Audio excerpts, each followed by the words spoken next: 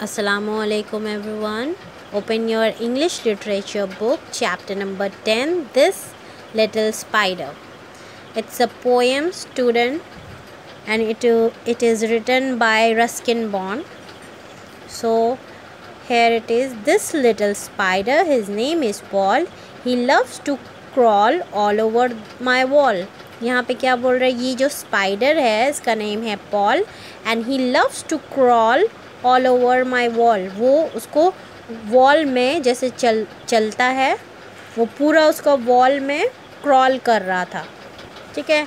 This little spider his name is Bheem अब next spider के बारे में बात कर रहा है, जिसका नाम भीम है his legs are quite long उसका लेग काफ़ी लॉन्ग है बट ही डजन स्विम उसका लेग लॉन्ग है, लेकिन फिर भी उसको स्विम करना नहीं आता। हैज़ थर्ड स्पाइडर अब उसके घर में पोएट के घर में तीसरा भी स्पाइडर है, उसका नाम है Sue and if she gets angry she'll eat those to वो बोल रहा है कि अगर वो गुस्सा हो जाएगी तो वो भीम और पॉल दोनों स्पाइडर को भी खा जाएगी. ठीक है?